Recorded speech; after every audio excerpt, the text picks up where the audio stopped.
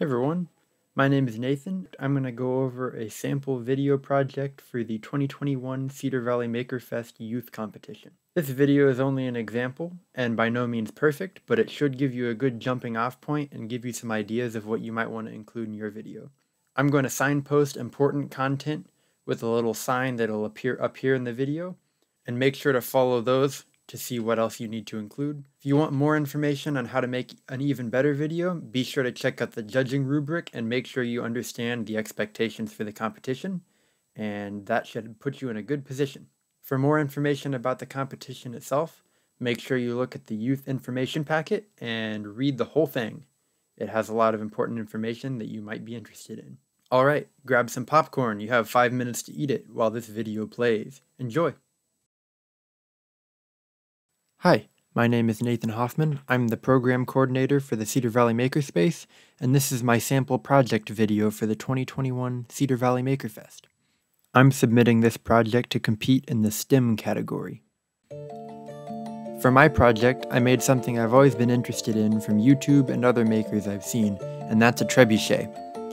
The trebuchet is an ancient siege engine first used by the Chinese over a thousand years ago. It slings objects, or in my case tennis balls, a great distance. Even with its incredible age, there are still people building these machines, and even improving them today.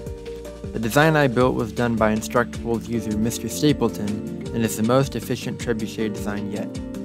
A trebuchet has three main parts, a counterweight, which takes advantage of gravity, a lever arm, which swings on some kind of frame, and a sling that holds and releases a projectile at the end of a rope or a cord.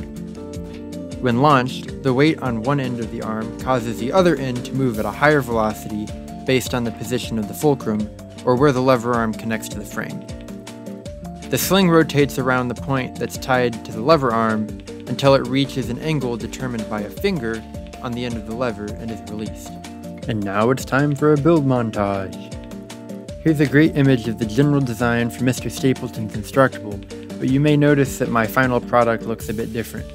Because the competition theme is reuse, I chose to build this trebuchet exclusively from scrap materials from the makerspace. The main arm of the trebuchet is made from some half-inch plywood that looks like it had a former life as a table saw jig. After removing the screws left over from its last use, I took it to the saw and cut it down to size. Following the measurements from the Instructable, I made the arm in a pretty short amount of time. And here you can see the drilling of the center hole for the swing arm.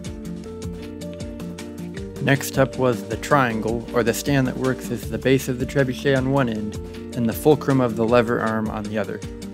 This was made from some scrap pine I found in the wood scrap pile, and cut into 1 inch by 1 inch square dowels. Now as you can see here, I cut off the ends of two of these pieces at 15 degree angles, and found the centers to drill and mount the axle that the lever arm rests on. Uh, this was a challenging bit and it took a little trial and error, but eventually I figured out how to clamp it, keep it level, and find the center. Here's a picture of the glue setup. I just used a spare piece of pine to spread the edges of the triangle apart just enough so there would be space for when I put the swing arm in. I chose the axle and all the other hardware from the miscellaneous hardware bins uh, in the makerspace, and it took a little digging, but I eventually found it, found everything I needed. Here's all the work on the axle, getting it to length and all that.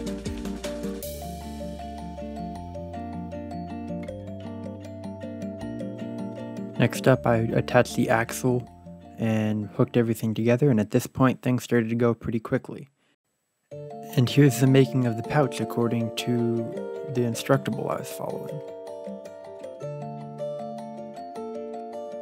And the whole thing gets tied up onto the arm, a little finger in the top to hold onto it, as you can see here. And here's the whole thing standing up without weight.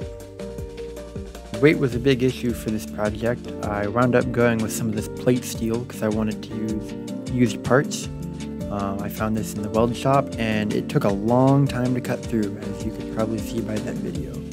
Um, but once I did and I drilled some holes in it, I went to attaching it to the arm and uh, Uh, even though it was some old, ugly pieces of metal, I thought it looked pretty sharp. And that brings us to the first test, which should be, oh no, it's broken. Uh, alright, so we need to make everything a little stronger, so how about some metal brackets? These made everything much stronger and I'm really happy with how they turned out as well. I think they look pretty sharp. Alright, take two. Hey, look at that. Perfect. And in reality, it took me many more than two tries to get this to work properly. But uh, once it did, it was great. As I hope you can see, this project was a lot of fun and I learned a great deal about basic physics concepts and some new construction methods. The setback from my first failed attempt taught me a bit about glue joints as well, namely, don't use only glue on load-bearing joints. Ultimately, I achieved my goal of building a working trebuchet, and the machine throws tennis balls about 150 feet. Thanks for watching!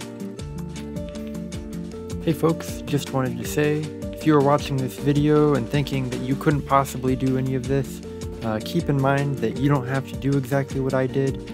I had access to tools at the Cedar Valley Makerspace, which made the project a lot easier to make. Uh, you could potentially also get access to the tools for free by emailing info at cedarvalleymakers.org with your questions, but you know, if you have hand tools at home or you don't even want to make a project with tools, that's perfectly fine.